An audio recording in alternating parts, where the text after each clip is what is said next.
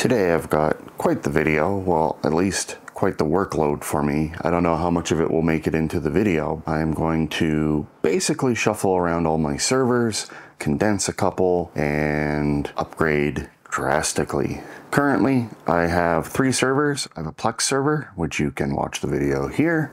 I have a TrueNAS server. I can't remember if I did a video on that one. If I did, I'll put it up here. And uh, a little VM server. Right now, actually running an X299 7980XE uh, Intel system. I had a Ryzen system in it, but apparently there was this weird bug with uh, I think it was specifically with the X570 chipset. System was restarting randomly. By the time I replaced it with a different system, the X299, someone had figured out what the problem was. It's like a glitch. Yeah, they you can put a little thing into uh, Grub and it will fix it. But it was too late. I already swapped it and I knew I was getting this board back, so I didn't really care. And I just kept running the X299. This board, dual Ice Lake Xeon, 64 cores total, 128 threads. Not an optimal configuration of RAM, but a lot of it. We got four 64 gig sticks and four 16 gig sticks which is not ideal, especially considering this can hold 16 sticks. It's what I've got. And honestly, I'm not doing any high performance stuff on this. Big DIMMs are fine. I mean, I, I, don't care how many memory channels I'm using really. Although in the future, I'll probably fill them out at least with 16 gig ones and then um, maybe move to the 64 slowly. Problem is these are like 100 bucks each right now. As DDR4 moves out of the server space into DDR5, I will switch over to those. In the meantime, I've got 64 gig and 16 gig sticks. I'm going to be shuffling a whole bunch of parts around and decommissioning my TrueNAS server and incorporating it into a VM since I'm going to have so many cores and so much memory and so many slots and everything. That'll remove an item from my rack. I have three 4U Rosewill server cases, and I'm gonna downsize that to just two. I've got some accessories for the build today. This is a cable that converts this funky dual NVMe link into U.2 connections, and then I have these quite nice uh, IcyDock M.2 to U.2 converter boxes. I can use two Samsung 980 SSDs. Uh, they're one terabyte each. They're just gonna be for uh, Proxmox. I'm just gonna run them in a mirror. I've got a replacement HBA the one I have installed is throwing up some errors. I don't know if it's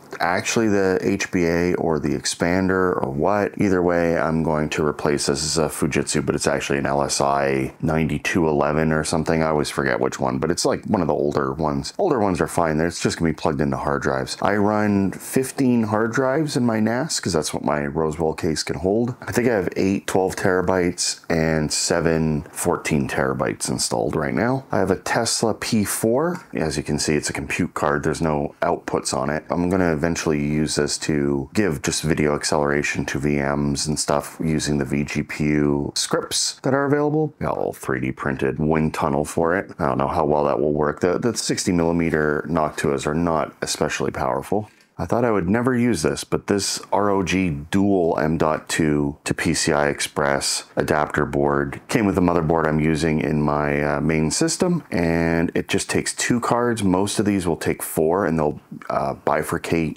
the 16X slot into fours. This one does it, but it only uses half of it, so I don't know why they made it a 16X slot, unless it's a power requirements thing. Either way, I'm going to use it in an 8X slot. This one has dual Sabrent Rocket Pro or Plus 2 terabyte drives, whatever their fast ones are. I edit videos directly from SSDs on my NAS. This is going to be that storage. It's two two terabyte drives. I don't know if they're going to be in a mirror or striped. Doesn't really matter. Whatever works out better or faster for editing, that's what I'll do. These things are cloned to the hard drives all the time with TrueNAS, so it's not a big deal if um, it's in a mirror or a stripe. There's also a very heavy card with a, a, massive heatsink on it. I have another card inside the system already, which has quad M.2s, and I'm going to be using those. Uh, it's pretty much going to be filled up with all Optane drives to accelerate metadata on either my main array, which has like my Plex server and stuff, and the array of drives that uh, are hooked up to my VM's storage. Uh, I don't need a lot of performance on the VM storage drive, so I don't use like a slog or anything like that. I'm also going to install a Corsair Commander Pro. The fan control on this motherboard is a little weird. I don't know if it's because I have the old BIOS or because I'm using engineering sample CPUs. I, I don't know what the deal is, but they, it just seems to run fans at weird speeds or ramp them up and down. I've already done the Noctua fix with the IPMI, which Noctua fans tend to run a lot slower than a server fan, so they tend to ramp up the speed and down up and down because the IPMI goes, oh my god, the RPMs are too low. Let me jack it up, run it really fast, and see if that clears whatever the blockage is or problem, and then it just slows it back down again, and it just keeps doing that because it doesn't know why the fans aren't operating like they should. So I told it they're like 200 RPM fans. There's guides on it. You can just Google it. I'm going to install a whole bunch of cards into the system. I think every card slot's going to be full except one. I really like the fact that this motherboard is just loaded with PCI Express slots. These are all 4.0 slots and they're all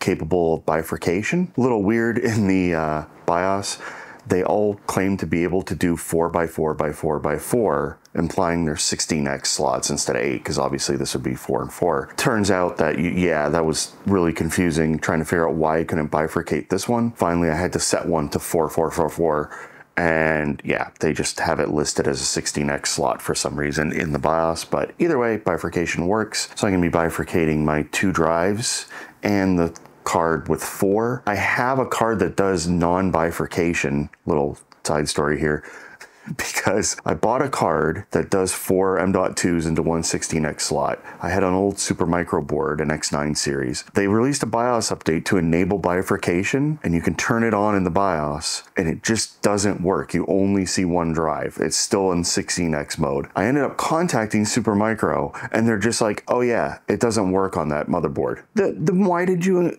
add it in a BIOS update. I don't get it. just leave it off it if it doesn't work. It was it was literally a patch to enable it and it doesn't do anything. And they're just like, nah, bro, that don't work. So whatever. I don't get it. I ended up having to buy a card that has the four M.2 drives, but it has a PCI Express splitter chip on it. So instead of costing $70, it's like 380 or something. I'll be able to probably, I'll probably just throw that on eBay if I don't need it. I was going to buy a, an Optane DIMM for no reason, just because it's funny, because these things can take a whole bunch of Optane memory. But the more I read into it, you really can't do it do anything with it. Unfortunately, they only run in two different modes. One where your memory is separate to it and it basically functions as a, a, like a cache for programs that are written for it specifically. And you can also run it in a mode where the RAM is used as a cache for your Optane and you end up having to have an equal amount of both. And it's really weird and there's no point to doing that in a normal situation. So I, yeah, it's, it's bizarre. So I was hoping I could just use it as basically an overflow from memory, like almost like a second tier of RAM where once it's filled, it'll start writing to the Optane or, or buffering or um, swapping to it, but it doesn't seem to operate in that way. I know you can operate the Optane DIMMs as a drive and actually have it show up as a block device. That's not too beneficial since I already have some Optane drives and they're standalone. And the, the catch with that is that it's way more expensive to get these DIMMs. A 128 gig DIMM is $250 right now. Hopefully they drop in price now that Sapphire Rapids is out and there's like the newer generation. These are 3200 DDR4 sticks. Yeah, it's just not worth it, even as like just a joke to install them. Maybe one day when they get in a lower price, I'll buy one or a couple sticks just for fun and try and use them as a VM storage location on DIMMs or something dumb like that. I was actually waiting a little bit before doing this video because I had a Supermicro fan and heatsink on this one and I didn't I wanted it to match I like Noctua so I bought a used Noctua one this was like just open box that some guy tested and it didn't fit in his case, so he just sold it. So I got it for a pretty good discount. For fans, so I'm gonna have all those running into the Corsair Commander. There are Linux tools to control the speeds on it. I don't need any fancy fan control. I just need it to be set to like, you know, 70% and just stay there. I'm gonna try this whole Corsair Commander thing under under Proxmox and see how that goes. My next task, I think, is going to be disassembling my VM system so that I can put this motherboard in it to keep it from getting destroyed while it's sitting out here. Here's my VM system. Like I said, it's an X299 right now. That's getting pulled. It's got a woefully undersized cooler for a 7980XE, but it's not doing too much work right now. Fractal Design power supply, I'm gonna pull this out. I'm gonna put in, I have a titanium 850 watt from Seasonic that I'm going to put in. 850 watts should be fine, even though those are like massive CPUs. I found that the whole system, without any cards or anything, just like the, the CPUs, pulls about 250 to 300 watts under like an all core load. So it shouldn't be a problem just running uh, a bunch of extra cards and a few more drives on, a, on an 850 watt. I'm going to keep these rear fans, they're Noctuas. The drives in here right now, I kind of like jokingly refer to them as hot spares. They're not actually hot spares. They are drives that I do actually keep around as cold spares for my server because uh, I have some 12s and 14s and I'm kind of building up a collection of 16s to slowly replace one of my pools with bigger drives. I actually just farm Chia on them since having drives running all the time doing very very little work is not a big deal. I'm going to pull these out and these drives are going to go into my plex server which i'll just run as a harvester. I've got a whole bunch of cards in here gpu uh, hba nics i'm going to just use one nic i'm going to pull out most of the stuff. A whole bunch of random SATA drives here that are going to mostly going to transfer over to the new system. There's a SAS expander down here. I, am going to pull that out because I've actually been using a SAS expander card in the TrueNAS server. I'm not sure about these Dell ones, which um, I'll put up a picture since this one's kind of buried. These ones are like pulled from some kind of NAS device that Dell sells, and the community kind of figured out that you can reuse them as a standalone expander for cheap. But now regular expanders are really cheap. I was having weird disconnect issues. I've swapped out the expander, but like I said, I'm having HBA problems. So, uh, you know, it, it's probably the HBA, not even the expander. Either way, I'm going to swap it out. And yeah, I'm going to take out this motherboard. I'm going to sell it. Got 64 gigs of RAM in it that are like Corsair RGB sticks and stuff. So this was my old workstation, my daily driver, and I'm gonna just pull that out. Uh, all the cabling is a disaster in here because like while I was trying to fix it, I had to like do emergency swaps of the motherboard and the power supply and stuff like to try and solve the rebooting issues. All this is coming out and I'm just gonna go do that off camera because it's tedious. On to the TrueNAS server, exact same case. This one's filled up with 15 drives though. This one is from a Datto server, which I will put the video up here. It was a cool server and cool board. Actually, it's a pretty low power Xeon D system with onboard 10 gig and all sorts of cool stuff. Really cool board. Gonna sell that. This is the one I'm gonna put the Ice Lake system into. So I'm gonna pull the power supply, motherboard, take out all the cables that I can and just redo everything from scratch. All right, so I've got everything crammed into this now seemingly very small 4U chassis. Jumble of cables for all the drives. Unfortunately, without backplanes, you're kind of stuck running a million cables. What are you going to do? They don't make a hot swap version of this, and if they did, it'd probably suck. Temporarily, I have both quad M.2 cards installed.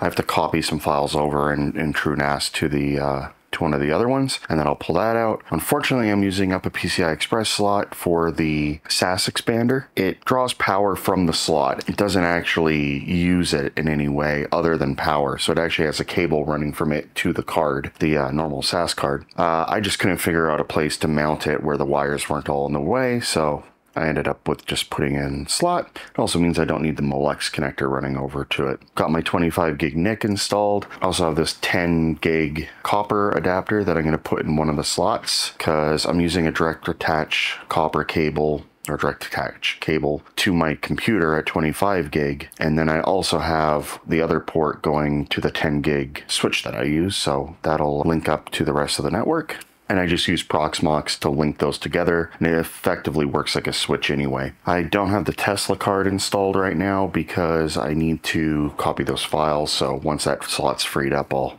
have that available. I think the next step is to just power this up and make sure it's working and then I'll load it up into the rack and then I'll just put the drives that I took out of this one and I'll throw those in my Plex server. Finished all the work on the Plex server. That was the last thing I needed to do. I just loaded it with drives, put in an HBA, and uh, I also put in uh, 80 millimeter fan to keep it cool. I was going to custom design one, but then I got lazy and just used the existing 120 millimeter print that I have and just chopped off the edges.